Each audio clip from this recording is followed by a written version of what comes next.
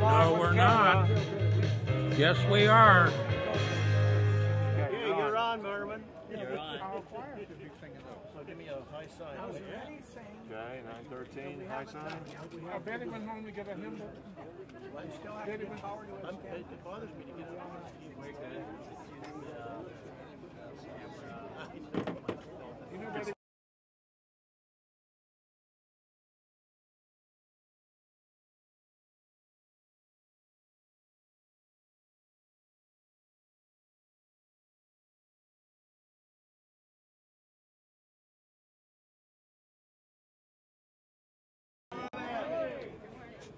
What was that?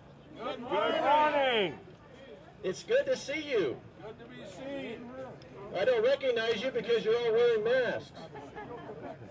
And we do want to we do want to say, uh, remember that that uh, there are folks here that are are uh, sensitive and are taking care of somebody with with uh, compromised immune system. So it is important for us to either do social distancing or physical distancing or wear a mask. And some of our folks that are here are taking care of compromised uh, folks with compromised immune systems, and so we want to honor their concerns.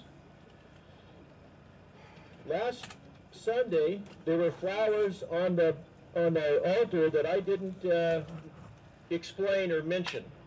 And uh, Elton and Donna Wheaton were celebrating their 64th wedding anniversary. So we want to honor that. Well done. Well done. And uh, there are flowers here on the altar celebrating Bev and Jim Mayring's 55th anniversary. So congratulations and another well done. Now over here on the uh, on the table, it's this is information from Samaritan's Purse, and uh, we do the we do the Christmas boxes, and they're doing a little different this year. If you go over to the table, rather than signing up, you can take one of these sheets home with you, and you can do the entire uh, donation online. And I don't I don't know. Uh, for your convenience, the best way is to build your shoebox online, so you don't even have to go to the store. You can build it right there online, and uh, we appreciate that, helping us to do it in an efficient way. Now, does everybody have communion elements?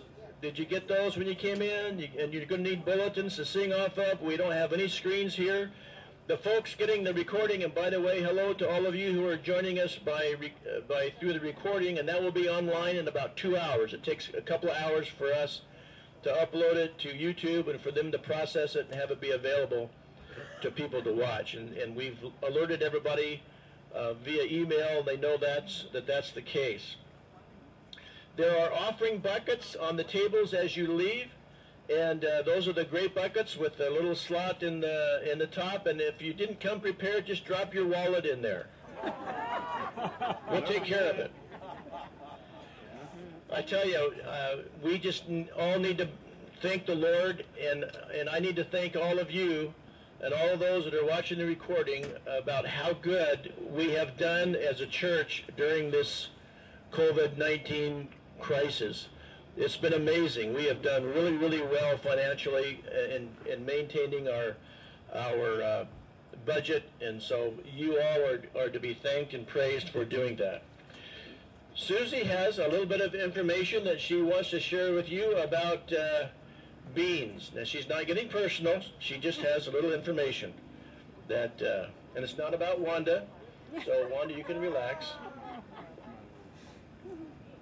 Believe it or not, it's the 1st of November, and so this will be our third annual year for collecting dried beans, peas, split peas, lentils, whatever, for the food bank. And so I'm just giving you a fair warning, you'll have three Sundays now, starting next week, to bring it either to church or I'm going to put a box on our front step and uh, front little front porch there, and I'll have it marked, and so you can drop beans off at our house too.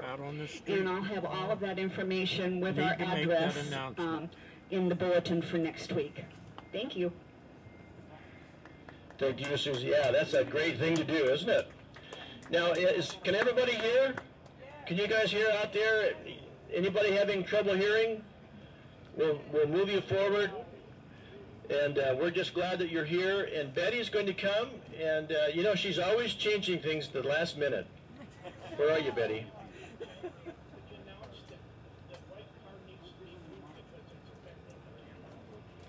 Ah, we, we hate to ask, but the, the white car behind me is, is messing up the color adjustment for the camera because it's our backdrop.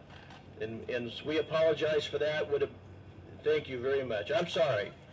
Uh, and by the way, that's a very nice car. I like that a lot. Betty, come and get us started in music. And again, Betty's changed things up a little bit because that's the kind of person she is. And uh, the, you know, you're not going to see the words. The words are in your bulletin, but the live streaming or the recorded uh, video, they'll have they'll have uh, the words on their screen. You want to put this in here, or you want to hold it? Good morning. Good morning. Uh, talk about changing things up. your order of service in the front of your bulletin, you can just forget that. Pastor Jim at 4 o'clock this morning changed it all.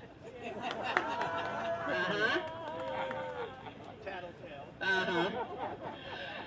Just a minute ago, we had a whole bunch of good songs playing, and one of them was Since Jesus Came Into My Heart, and you don't have the words, but let's sing it. It was such a good song, and it was so upbeat, and uh, it was Steve Sorensen that said, let's do this. So I said, okay, let's do it. It's on, You ready? But Tom, you ready? Can't see it. it's very, it's being washed out. Maybe? Yeah. It's coming. Yeah. You can't see it.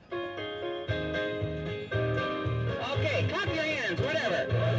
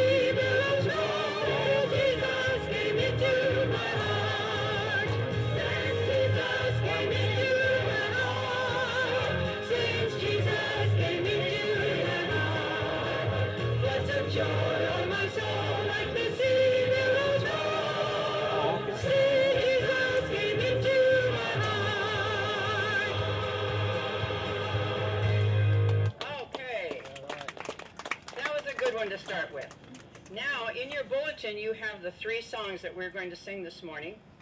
And the first one is There's Power in the Blood. So let's start out with that one. Can you find the words? Does anybody need a bulletin?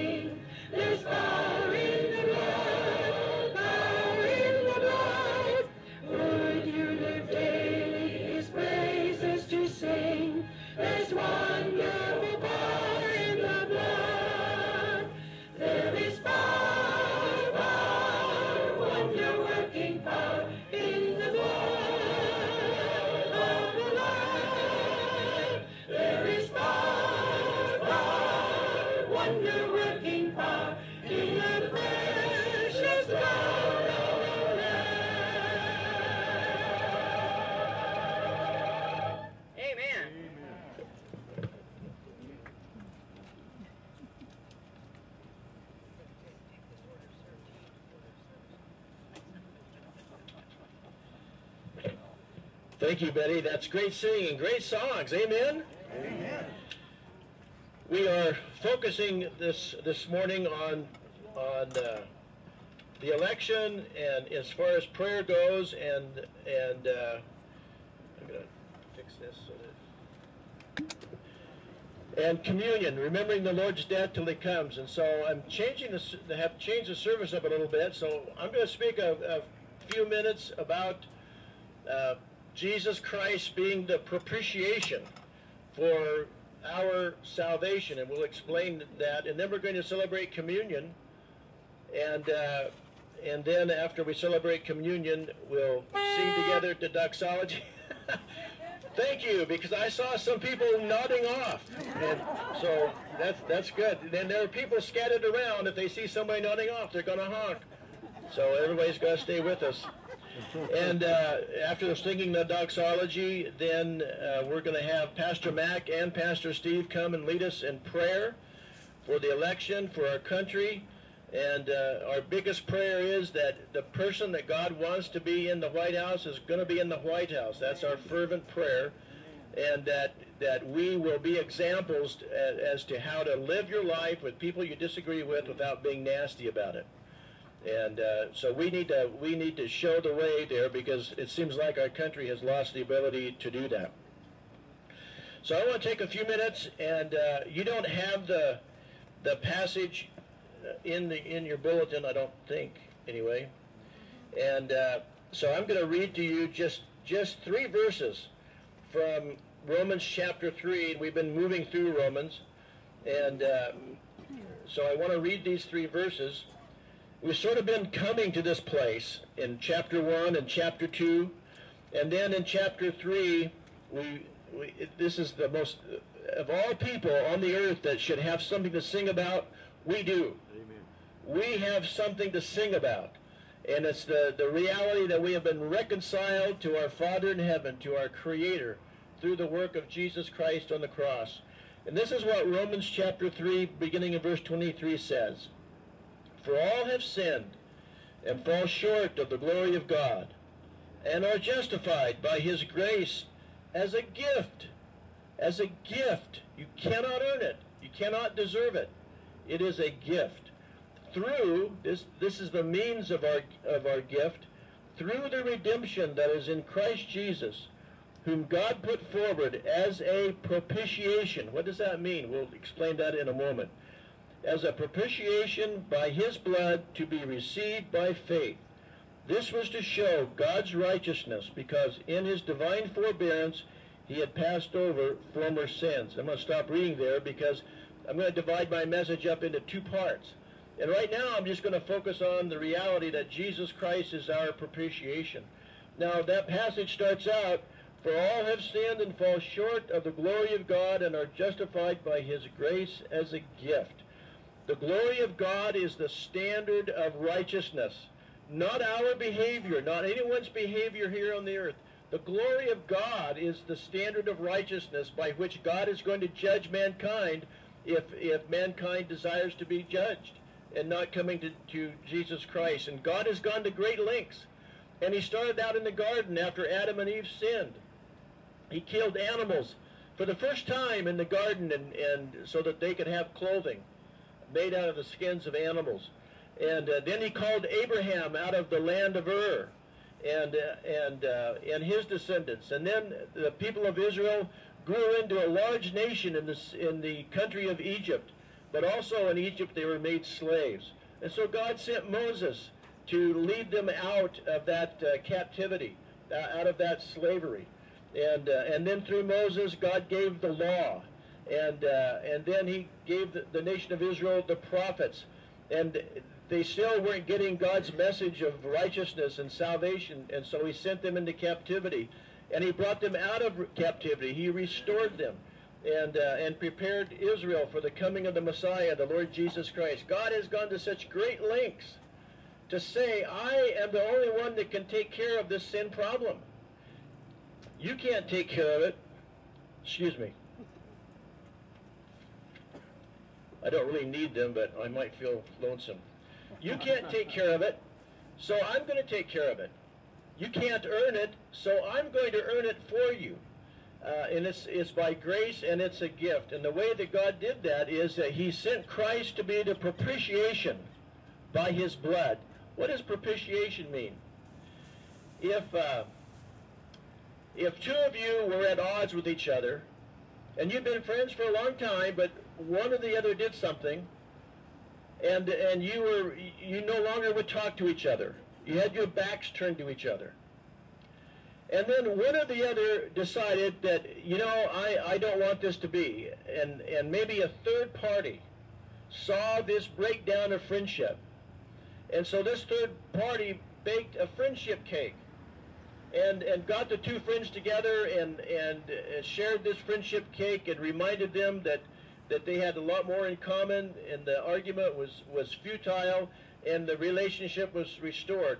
It wasn't just that, that the, that something the friendship cake paid for the wrongdoing of one or both is that there was an act of kindness that not only restored the possibility of a relationship, but changed enmity into, uh, uh, well, mollified the enmity.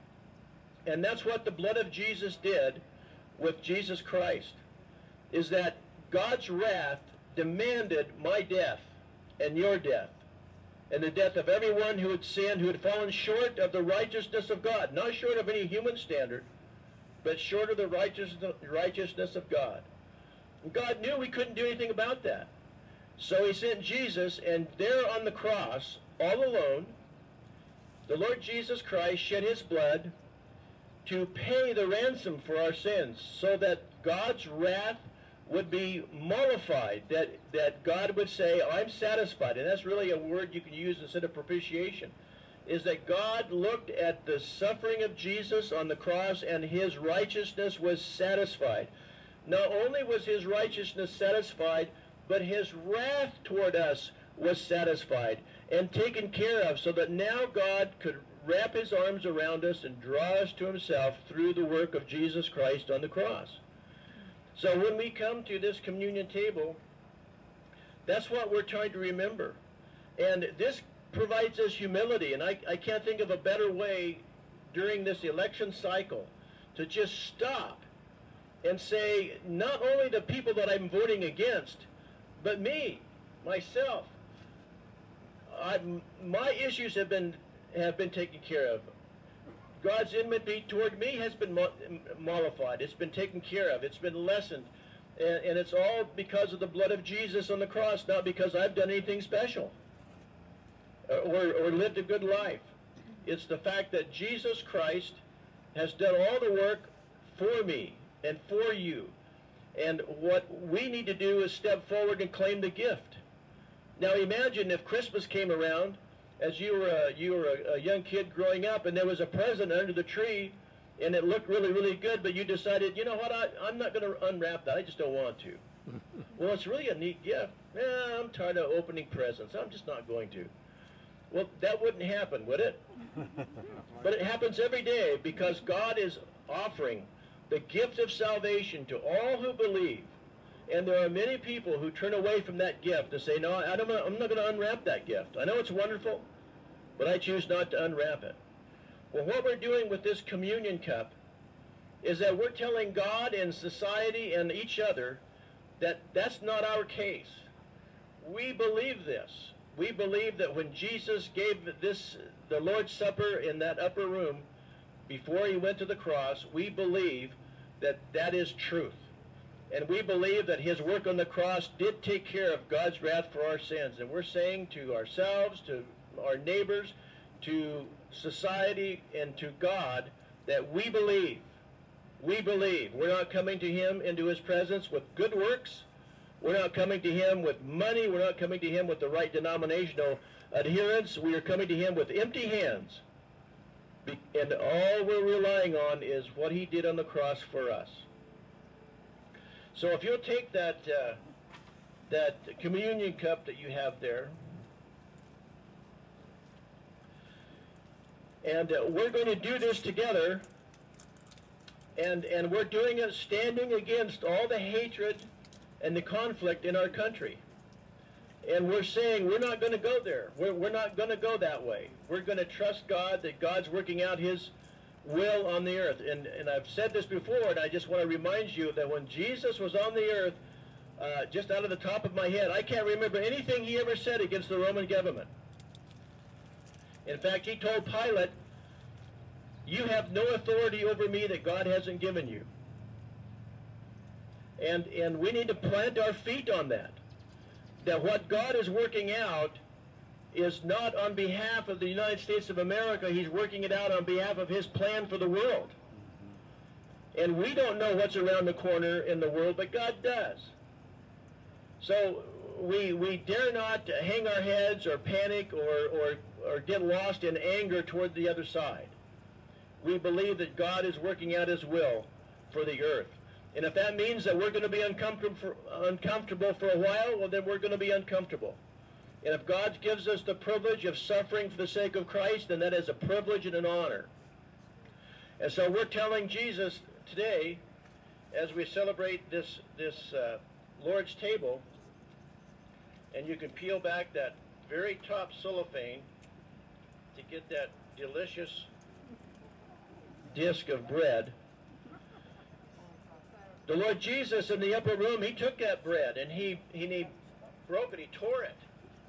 And he, did, he gave it to his disciples, and he said, I want you to eat this, because this is symbolic of my body, my body, which is given for you. And in remembrance of that gift, we eat together.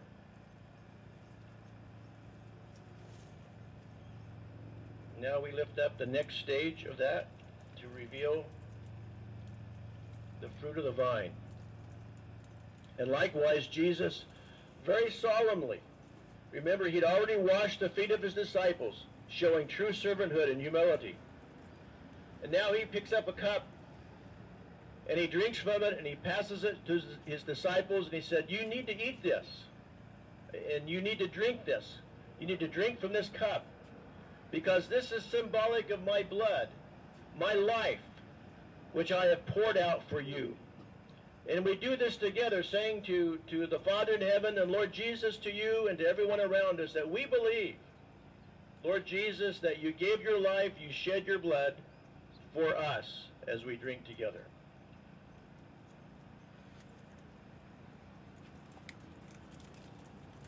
Amen. Thank you, for participating with us in this Lord's table.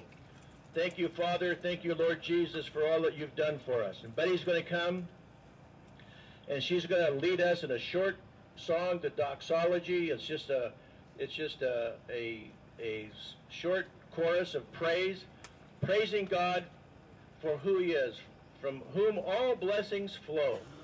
And uh, and then after Betty leads us in the doxology, we're going to ask Pastor Mac and Pastor Steve to come forward and lead us in prayer.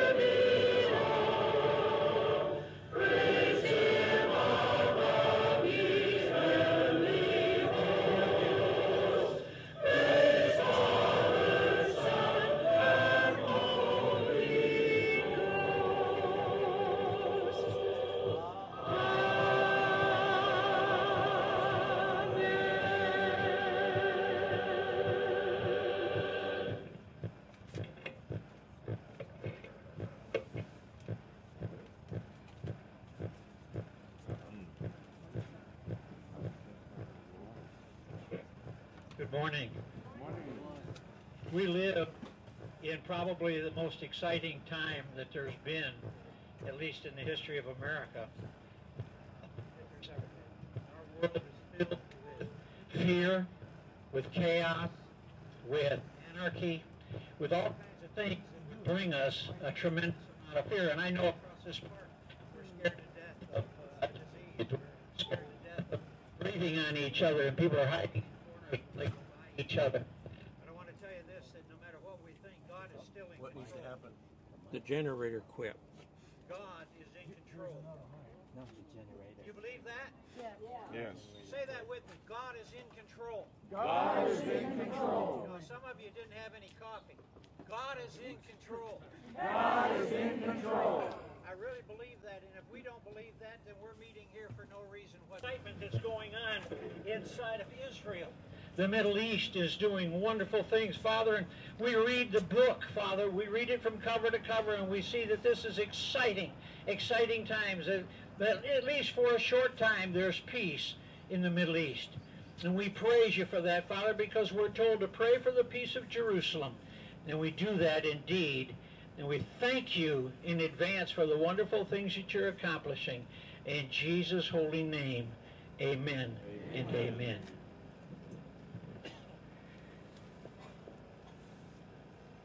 Thank you, God, for sending Jesus. Thank you, Jesus, that you came. Holy Spirit, won't you teach us more about that lovely name? Father, we pray for a stoppage, a blockage, a healing of the coronavirus that is sweeping the world and sweeping our nation. Father, we pray that you, by the quickening power of your love and of the Holy Spirit, would block that thing. And God, even that it would, it would astound and amaze the doctors that all of a sudden this has stopped.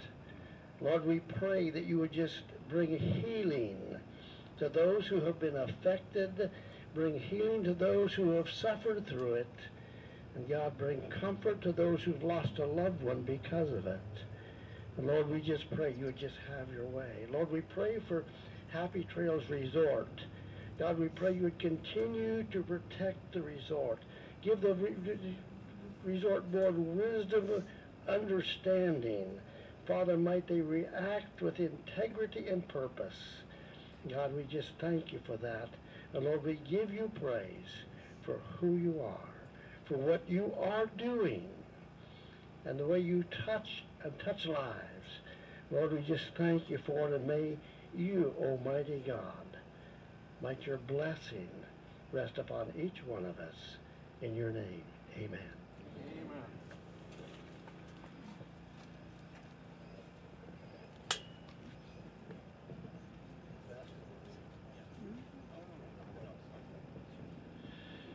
Don't you love it when things go wrong? It's exciting to me. It means we're doing the right thing. And, uh, and the enemy doesn't like it. Vasco's going to come, and Vasco, you take your place right there and right in front of the altar. Unless you're... Oh, you're going to be right there? Super. Very good. Vasco's going to sing for us and uh, lead us in, in worshiping the Lord through his gift. Vasco. Thank you.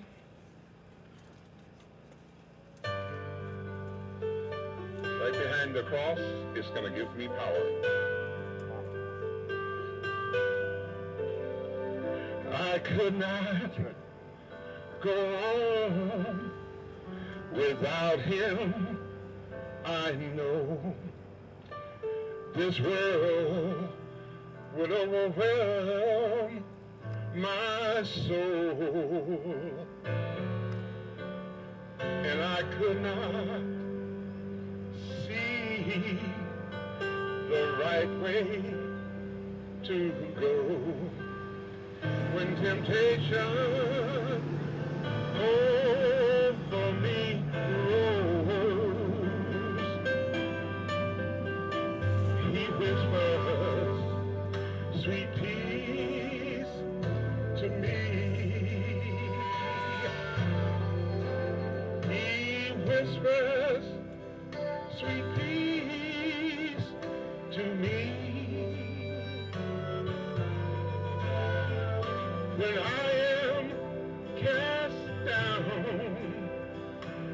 trouble in my soul.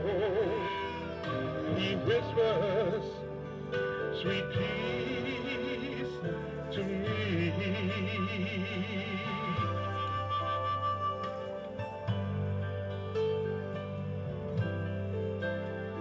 He speaks in a still small voice It's a voice that dispels all of my tears. And when I am cast down and trouble in my soul, that still small voice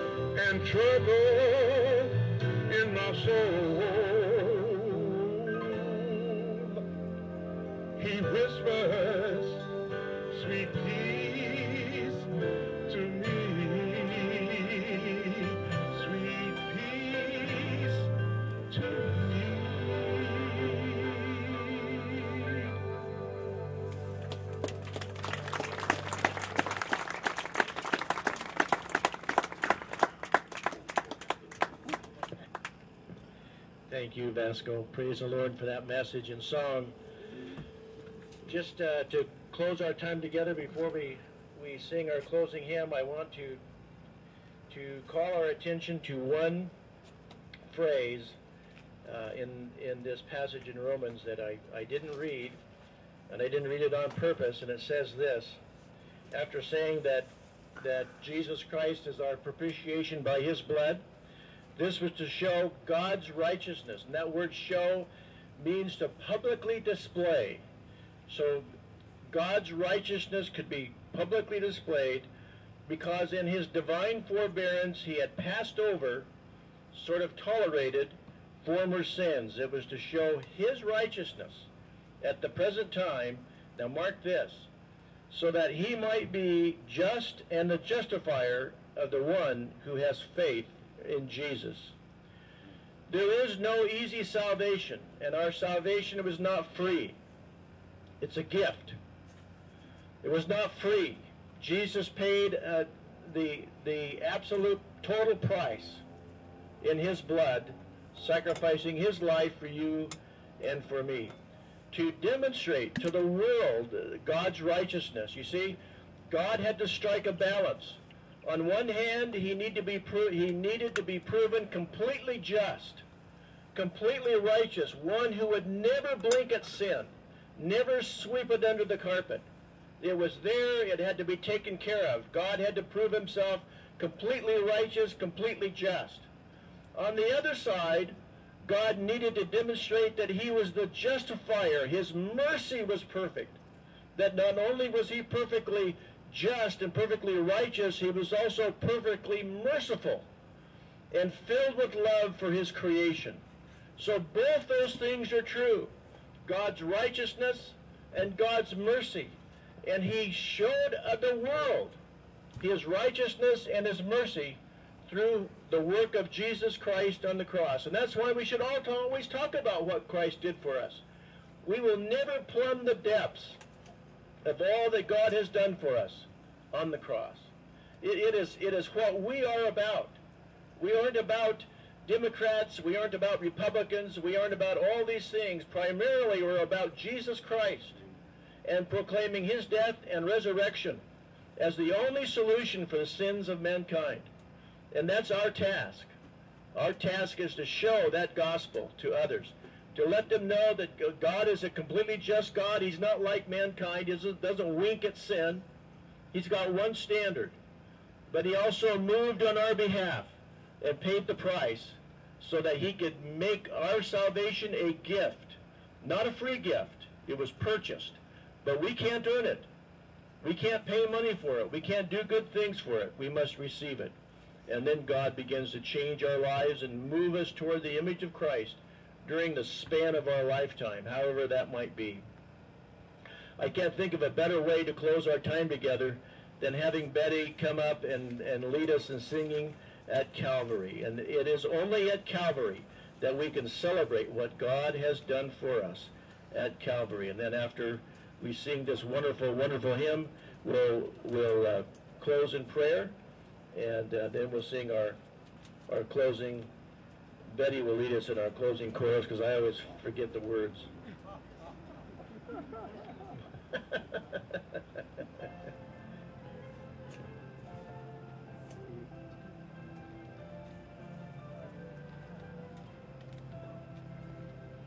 Calvary.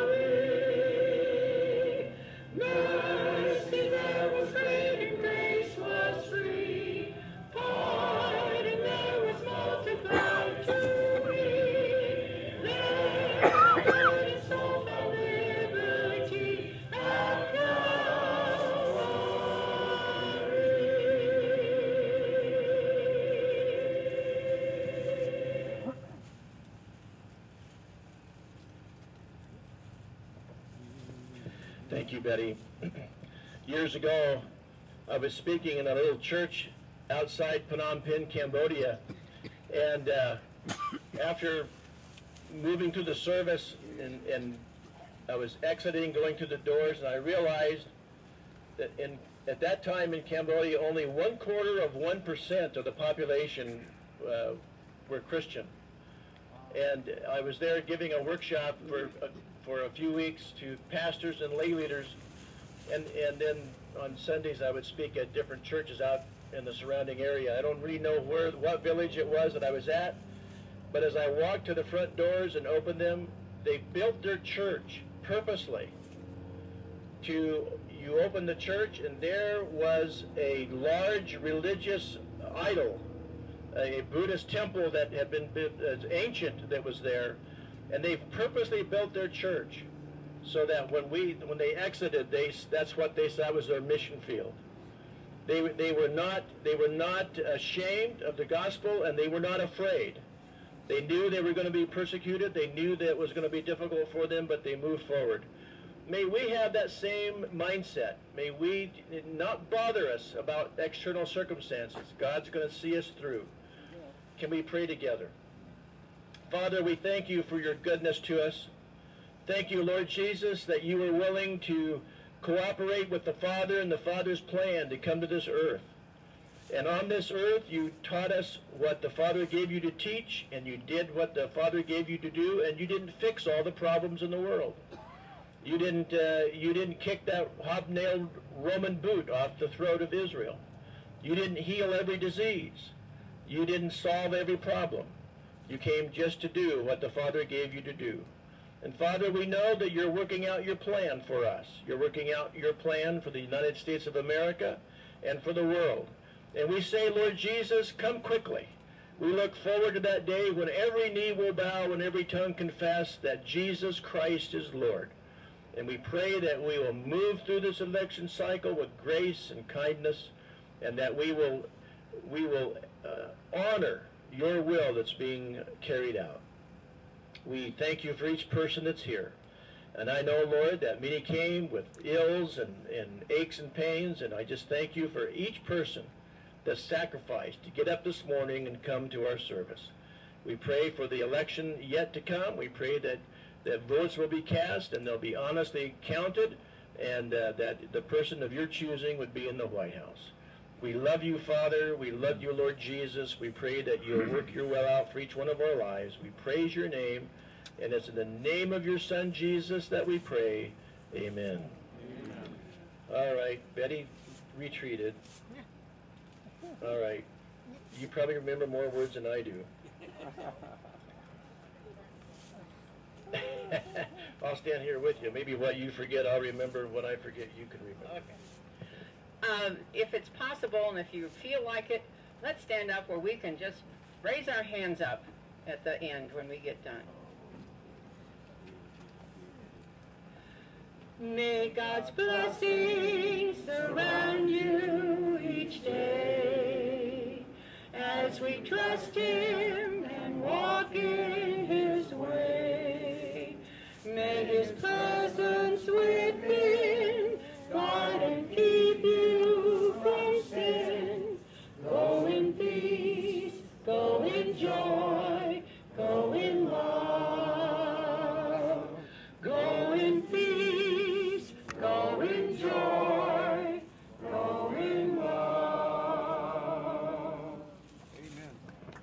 God bless you. Thanks for being here today. Have a blessed day. Don't forget the offering buckets as you go out.